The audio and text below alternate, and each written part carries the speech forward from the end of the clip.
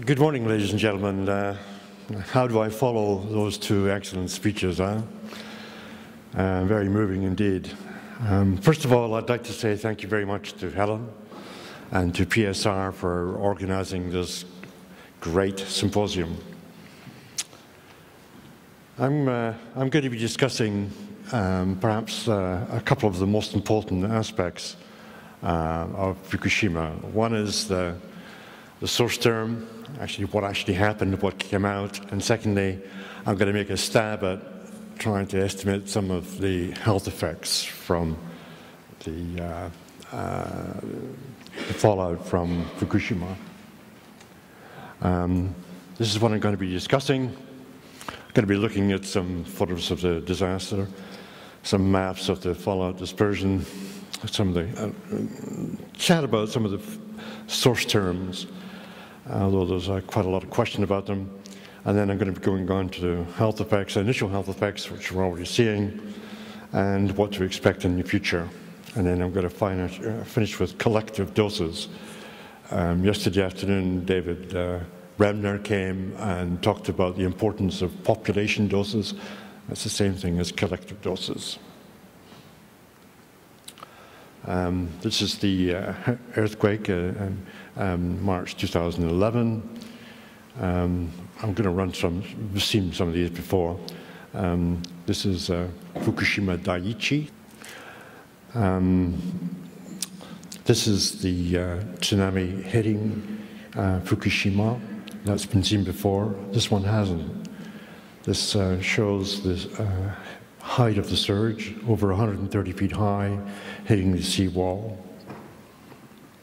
And this shows the, uh, uh, the water surging through the plant. This is about 30 feet high, the water wall going through.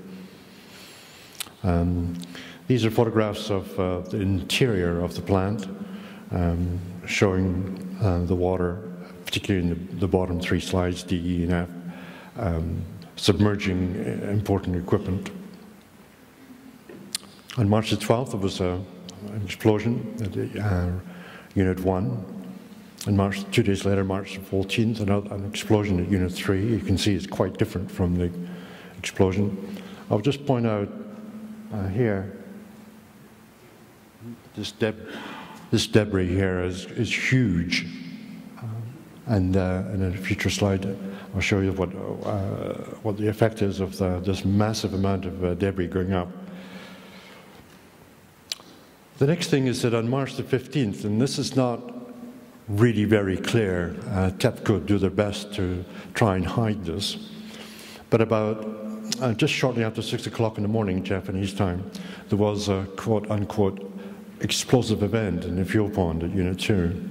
And that was followed seconds later by another explosive event in the spent fuel pond at Unit 4. So these two events on the 15th that were very, very intimately connected, and we don't know the reason why yet. And then the uh, next day, on March the 16th, again, uh, early in the morning, there was a major explosion at Unit 4, that's the fuel pond. Those two um, explosions on the 15th and 16th were not videotaped because it was dark and there was no TV crews actually taking um, uh, footage at the time. Um, just give us a, a, timeline of the various explosions. Um, I should say, and I would uh, uh sort of reflect what um, Arnie Gundersen said, that there's a lot of questions yet. many emissions and high radiation levels which are still unexplained. Um, we're still, in, only two years after the accident, we're still piecing things together and TEPCO is running interference and making damn sure that we don't find out what is going on. But nevertheless, um, if we can look here, the damage to, we've seen some of these before, um, the damage to reactors 4, 3, 2, and 1, 4, 3, 2, and 1. Um, and going on from the, the top, um, these are the reactors 3, 2, and 1. 3, 2, and 1. And you can see here, you can see here This, these holes and the turbine holes are a result of the falling debris from the reactor. These are huge holes, about 20, 30 feet in diameter, which means that big chunks of the reactor um, and or fuel pond went straight up into the air.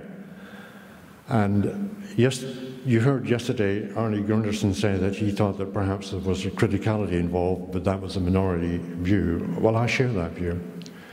Um, it doesn't matter if it's a minority, there's a, quite a bit of evidence suggesting that something more than a hydrogen explosion took place. Of course, of course um, the officials, uh, TEPCO and the J Japanese government agencies deny it, but um, there's far too much plutonium and uh, uranium lying around the rest of Fukushima for there not to have been a criticality accident, uh, uh, event, I should say. So we'll see in future what actually happens. Again, more damage from uh, to reactors 4 and reactor 3.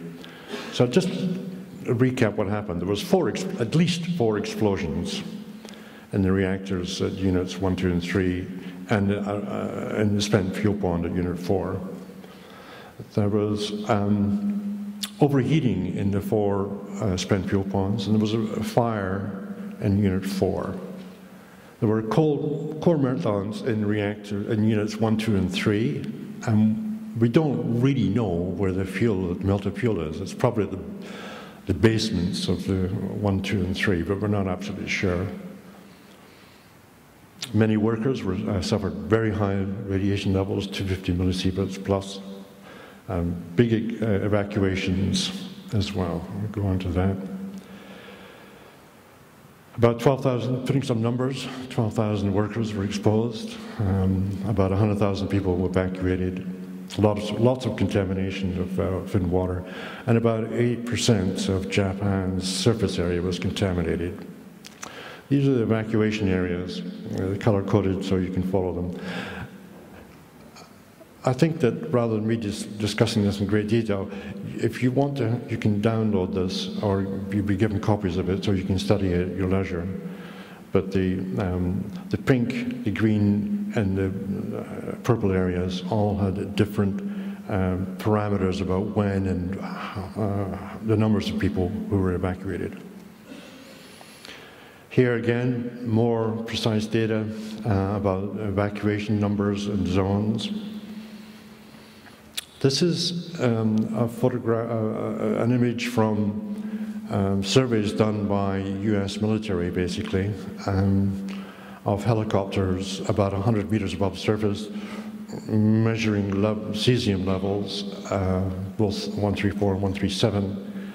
And you can see here um, a distinct horseshoe-shaped um, pattern of um, deposition from the plumes at Fukushima.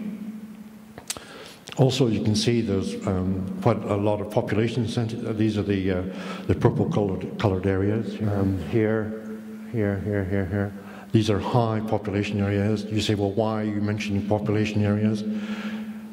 Because it's where there's high populations that you get the deaths. And it's where you get high population doses, it's people that count. If the radiation falls in an area where nobody lives, then perhaps less concerned. It shows some of the dose levels similar to the previous slide, but given some numbers uh, of the doses. Um, as you can see here, we're talking about doses of up to millisieverts, 50 millisieverts a year. None of that is taken into account in the recent WHO report, which uh, is a disgrace in many ways. Um, but going on, this slide is on its side. I couldn't, for the life of me, get it to go up and down, north and south. But can you imagine? This is um, this is the curve here of the that I showed you before, the horse-shaped shape. Now this is here is Greater Tokyo, a population of 35 million or so, and you can see, yeah that parts of, of Tokyo uh, were contaminated. Now, even if um, the population of Tokyo only got an average dose of a, of a millisievert, say, that's still a huge dose in terms of, of um, the um, population doses, 30,000 person sieverts is very large indeed. Just going on. It wasn't just Japan, it was the rest of the world. And this shows you the contamination as measured by Stohl and his associates in Norway. Stohl is he's an important person for you to try and remember his name, S-T-O-H-L. Um, they used data from the Comprehensive Test Ban Treaty Organization measurement stations throughout the world. Makes me wonder why it didn't occur with Chernobyl, but anyway, they did it for, um, uh, for Fukushima, and you can see um, the deposition throughout the rest of the world. Essentially, what this slide shows is that every single one of us has bought a, a reverse lottery ticket. Do you remember what uh, David Brenner said yesterday about uh, the fact that um, if you're spreading very small doses over a large population, it's basically a reverse lottery ticket. And like a real lottery ticket, some people are going to get it. Some either with a, an ordinary lottery ticket, you won the jackpot, but with a reverse lottery ticket, you die. We don't know who it is, and the risk could be individual risk could be very small, but people will die, and that's why collective doses are really important to, to measure. We live in a society in a capitalist society where we value individual freedoms and individual rights and individual doses and put a lot of emphasis on it. Yeah, okay, but collective doses are important too. So if you pick up nothing else from this conference, please try and remember that we should try, emphasize collective doses. And I'll give you another reason why, and that is that the World Health Organization and UNSCEAR and IEA are all trying to downplay collective doses. Your response? Pick it up. It's important. Um, the next slide is uh, again by Stohl. And it's not very clear, but it's the best I've got. Um, this is Japan again here. And you can see that um, most of the cesium fell on the sea on the Pacific Ocean. Now, what I'm going to do is I'm trying a, a, bit of a comparison between Fukushima and, and uh, Chernobyl because it's by comparisons that you learn, you get an idea of what, where we are, get a handle on it. If you compare the two, uh, the fallout from Chernobyl was over a much larger area in terms of high concentrations. Uh, Chernobyl was uh, over land, not in the sea, whereas in, in Fukushima, about 80% of the, certainly the cesium fallout was over the sea rather than land, only 20% over land. However, in Japan, the population densities were much higher than they were in Ukraine and Belarus and, uh, and the Soviet Union. At Chernobyl also, we think that the, uh, the source terms were larger. I'll come to that in a minute. So it gives you an idea of uh, the differences and similarities between the two. This is a slide which most Ameri North Americans are not really aware, so I'm going to let you have a look at it. This is the depositions of cesium throughout Europe. In essence, ladies and gentlemen, Europe was clobbered. 60% uh, of the fallout from Chernobyl fell on Western Europe. The highest concentrations were in Belarus, Ukraine, and Russia, but the actual amounts were spread throughout the whole of um, Western Europe. There's one slightly funny aspect in that, and that is if you look at France here, La Belle France, the French government announced that the, um, that the uh, Chernobyl fallout couldn't possibly land in France. it was a, the trouble, we can laugh at it now, but at the time they took it seriously, I kid you not. And uh, um, when this data came out, were, um, a, the, the result was that a number of cabinet ministers had to resign. I kid you not. Uh, And another thing is that you know, one of, for those people who are uh, students of irony, so to speak, is if you look at the UK, um, the highest doses that fell out from the plume fell on Sellafield. it was quite, quite funny. Um, but just going on a little bit, I'm going to look now at this, at this area here in the next slide. This is it here. And this is, this is Chernobyl. And you can see the, the concentrations uh, which fell. Um, these are high concentrations uh, in the immediate area. Now, the next slide is going to be a bit of a shocker, um, but I hope you'll take it on the chin. Um, I've superimposed here Fukushima on top of the map that I showed you previously. It was the same scales. And the colors are roughly, the, uh, again, to the same scale. So it gives you an idea of the respective sizes of the fallouts.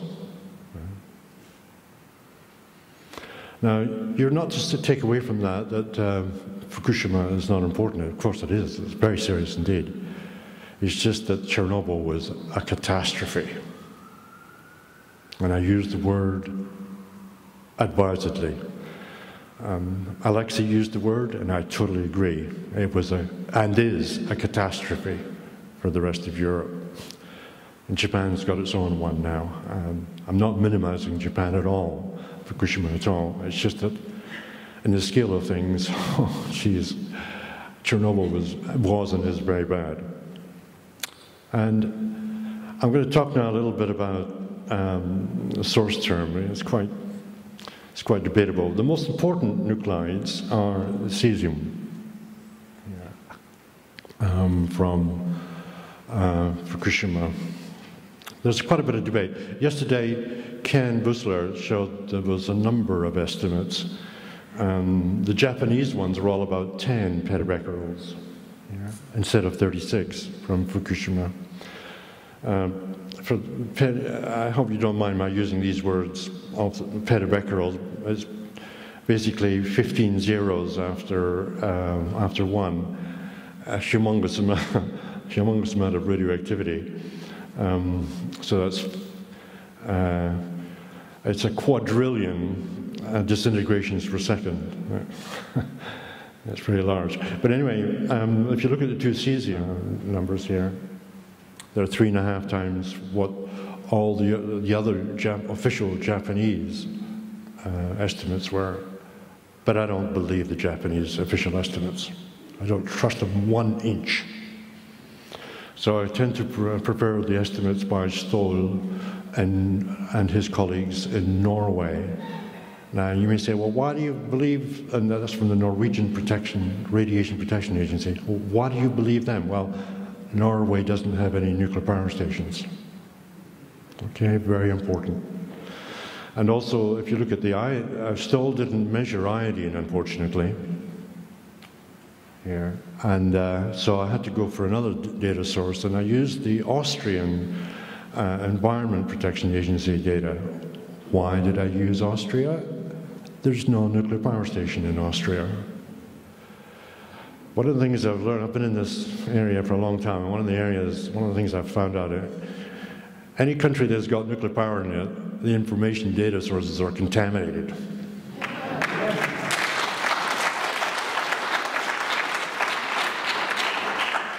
A couple of points also from this slide is that you'll see that, uh, that the um, um, radioactive noble gas xenon 133, half-life of about five days, um, um, actually more was emitted from Fukushima than Chernobyl, mainly because there was three reactors that uh, went up, uh, whereas at Chernobyl there was one. Um, these data show very roughly that um, what I had shown earlier, that, that the effect from Fukushima was about an order of magnitude lower than the effect from, from uh, Chernobyl. Now, um, this is an interesting slide, which I said to you that Chernobyl was really, really bad. Hey, guess what was worse? Well, you look at it for a second. The important is the x-axis, which gives you the time. The year is 1960, or 55, 60, 65. Guess what happened then? You got it. It was the atmospheric bomb tests. And you can see that it put out a huge amount of cesium into the atmosphere. Um, in 1986, yeah, um, you had Chernobyl, which was short, sharp, and sweet, 10 days, followed by, um, as you can see, the body burden of cesium there.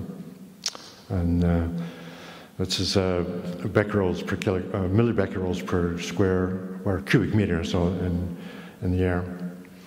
Um, the trouble is that not many people really study the effects of atomic bomb tests, but they are serious.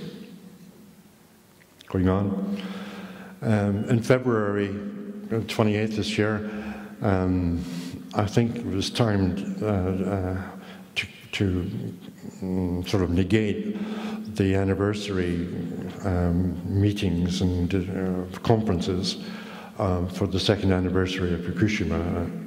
They rushed the report out. In fact, there's a number of typos in it. I don't know if you've seen it. Um, anyway, the WHO report um, said that um, there was little bits of uh, little increases in breast cancer and leukemia amongst uh, people who were um, near Fukushima, uh, but a big increase in women um, of thyroid cancer risks. Um, that's probably the case. However, I, I, I, think that breast cancer and leukemia incidence is actually maybe bigger than this. Again, WHO report was very vague. It said risk for protected be, uh, predicted be low, no discernible increase outside of Japan, which is nonsense, and uh, a third of emergency workers uh, have increased risks. Wow. So what? I mean, the thing is that you should try and get numbers to these, and, and they haven't done it. the WHO report. I'm going to talk a little bit about what we can expect to happen at Fukushima, unfortunately, using Chernobyl as a guide. Um, an initial nine month period after March the 11th, 2011, we can expect to see teratogenic effects, in other words, effects from exposures in utero to uh, embryos and fetuses, and listed there. After two years, um, we expect to see leukemias increasing yeah, in adults, but they are really hard to pick up because um, leukemia is a relatively rare disease. After four years, we expect to see increases in thyroid cancers coming along. And after 10 years, solid cancers and various other effects, particularly cardiovascular effects. That's what we expect to see in that timeline.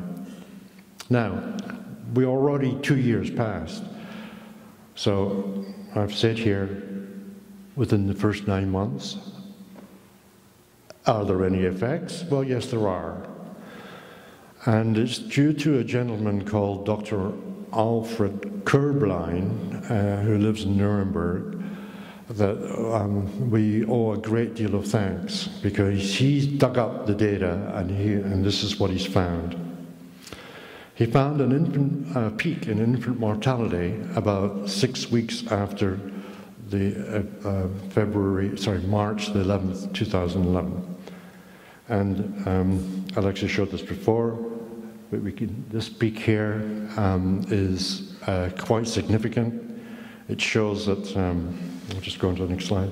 It shows a threefold increase in infant mortality rate, um, uh, um, which is statistically significant. Instead of the, the, the, observed rate was about nine per thousand, and the expected was about three, so a threefold increase. We're not absolutely sure what's going on here, but um, basically these infant deaths are, uh, are an anomaly. Uh, we see them, uh, and they've happened elsewhere. Now, there's a second event, uh, and that is, affects, I should say, a decline in live birth numbers. And this happens nine months after March the 11th. Uh, this is observable not only in uh, Fukushima prefecture, but also in the whole of Japan. In Fukushima, um, there was a reduction in the birth of the live birth numbers of 15%, and in all of Japan, about 5%. These are statistically significant. This is, these are big enough numbers for us to know there's something going on here. Now, the next slide is I'm going to be showing you is the standardized residuals. We looked at the data and turned it so that on its side so you can actually see it of monthly data for Fukushima prefecture. And you can see the, uh, the number of live births nine months later falls off a cliff here. After um, nine months after the uh, events in uh, Fukushima. A good question you might want to ask is well, did we see it elsewhere? Yeah, we do. Um, on the left, you can see the slide for uh, Fukushima prefecture, and on the right, you can see Kiev city, which is, uh, and, and uh, this is after nine months after Chernobyl. Yeah. Again, the number of live births fell off a cliff. So we've already seen effects, uh, in utero effects or teratogenic effects. Another teratogenic effect, although it's rarely acknowledged as such, is infant leukemias. Way back in the 1950s and 60s, uh, Alice Stewart, um, who was a personal friend of both Bob Alvarez and Kitty Tucker and myself, a wonderful, wonderful woman, um, she found in her uh, Oxford survey of childhood cancers that um, there was a, a 168% increase in leukemias. Sorry, wrong one. She found a doubling of the number of uh, infant leukemias born to women who were irradiated by X-rays during pregnancy. And in 1987, this was actually shown after Chernobyl. There was a 168% increase in Belarus infants. And this was spotted by again by Dr. Alfred Körblein.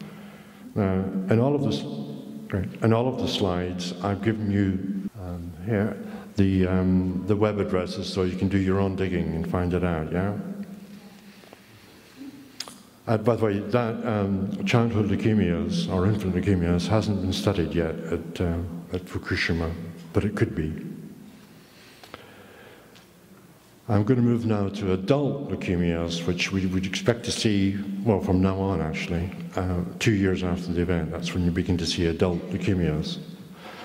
Adult leukemias were difficult to pick up at Chernobyl, um, but mainly because of the, you're looking for a small signal in uh, an area where there's a lot of noise. Um, but just recently, in January this month and this year, Zablotska did a study of uh, over 110,000 Chernobyl liquidators. Uh, liquidator is a technical term meaning people who go in and clean up the mess, and they're exposed to large amounts of radioactivity. Well, um, she found a linear dose response, and I'll show you the, the next slide. Now, this is really important because, uh, for a number of reasons. One is that it's a very clear evidence of leukemia increases. Um, and the results are statistically significant because even although the effect's small, mm, you got big, big numbers, as I say, 110,000 uh, people. The amount of work they put into this is just amazing. Uh, looking at case records for 110,000 people, takes a long time. And one of the um, significant things is if, if you look at the actual data points here, here we're down to about uh, 10, 15 millisieverts.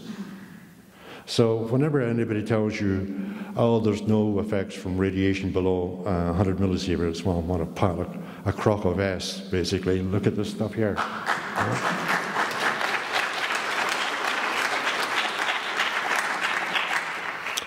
Just going on. Now, one of the things that we should uh, uh, we would expect after about four or five years are increases in thyroid cancer. Already, we've seen increases in um, cysts and nodules in children uh, in Fukushima last year and this year. Uh, I've double checked this with a number of scientists, um, what, what, what the significance of this, and I have to say that there's conflicting results, and it's basically hard to say what's actually going on here. All I can say is that, and this is the important thing, after four, from Chernobyl, after four years, we're going to, probably we're going to see increases in thyroid cancers. That's the key thing. Maybe not as much as, at, uh, thankfully, at, as at Chernobyl for this reason. In, at Chernobyl, all of the, the people there were, um, had very low levels of iodine because they lived thousands of kilometers from the sea and they had not much fish in their diet. Whereas in Japan, all of the people live very near the sea and they all have very rich diets in fish and seaweed. So their, their thyroids were stacked up with stable iodine. Okay? And whereas in Chernobyl, they were starved of iodine, and when the, the radioactive iodine came out, they gobbled it up and took it in. So with any luck, the thyroid cancer incidence at uh, Fukushima won't be so as severe as occurred at, after Chernobyl. And it was severe after Chernobyl. This is uh, um, data showing the epidemic of thyroid cancers in Belarus uh, after Fukushima. And you see here, this is adults, and they don't say this in the chart, but it's adult women, almost totally. Um, I don't want to steal the thunder of following speakers, but there's quite a clear gender difference here. Women really got it in terms of thyroid cancers after Chernobyl. Okay, better get on. But um, I mentioned earlier on about that we need to talk about population risks versus individual risks. There's a lot of emphasis on individual risks, but really we need to talk about population risks as well. As I mentioned, there's a reverse lottery going on, but real people will die. I want to now talk about um, and finish off with a few um, because we know of these uh, exposures from the uh, fallout throughout Japan and elsewhere, you can make estimates of the number of people who will die from cancer. You, once you've got the collective dose, you can multiply by a risk factor of, say, 10% per sievert, and get an estimate of, of the number of fatal cancers. Now, there have been th three studies so far the French study by the Institut de Radioprotection et Sûreté Nucléaire, the first one. Um, Ten Hoeve and Jacobson on the West Coast at uh, Lawrence Livermore, and Jan Beyea and Ed Lyman and Frank Hippel uh, um, here in uh, the East Coast. Uh, Frank's at, uh, at Princeton. These three have made the following estimates. Frank and by the way, these I've corrected these data so that there's no DREF applied because one, one of the funny things from the WHO report was that they said we shouldn't be applying DREFs. Um, uh, so uh, DREF is a fudge factor, and I don't have time to explain it. Basically, it reduced the number of deaths, and if you don't have to apply it, then the deaths go up. Um, Frank von Hippel said about maybe a 1,000, 1,500 deaths. The, the, French government report said about 220. Um, uh, Ten Hoeve Jacobson said about 170. Uh, Jan Beyea and his colleagues about 700. And I made my own study uh, showing about 3,000 deaths. I'll be clear about this. This is from ground shine only. No internal doses, just ground shine. That was the cesium landing on the ground. And, but it's estimated over 70 years. That's how long this the cesium will last 70 years into the future. And if you compare that with Chernobyl, again, no DREF, you can see the numbers are much larger, at least an order of magnitude, probably two orders of magnitude larger. I'm going to finish off on um, uh, some citizen activist uh, results. Um, these are people who are not officials, they have no connection with the Japanese uh, so-called radiation protection bodies. Uh, Professor Hoyama Um, he studied whole body counts um, of internal radiation of people who, all the people who came into his hospital between October 2011 and November 2011. He wasn't paid to do this. He just did it himself because he was so concerned. Uh, 30,000 people is a lot of people. Um, his measurement protocols were good. I double checked them with colleagues in, this, in the UK. And the key thing that it came out with was that and this is encouraging news for the Japanese people here and people in, in, uh, in Fukushima, is that there's been a decline in the number of people who tested positive for internal cesium. And that's a, we can take something forward from that, from 12% uh, in uh, 2011 down to 3% in 2012. That's really encouraging news. And after May 2012, no cesium detected in the children so far. And that's a big number. It's uh, 10,000. That's good. That's, uh, Hirata is on the cusp of the horseshoe, um, if you can imagine the, the fallout plume. Just go on very quickly. Um, another citizen scientist, um, well, they're from, they're called the uh, Safecast people, Azby Brown, if you know, to know him, good bloke.